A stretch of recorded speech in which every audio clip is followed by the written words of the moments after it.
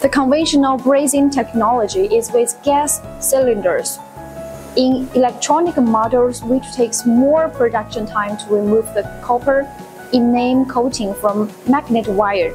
At the same time, it is harmful to human body and easy to cause safety accidents. The newest oxyhydrogen brazing technology only consumes pure water and some electricity into oxygen and hydrogen gas on demand. It is clean energy, eco-friendly to the environment and workers.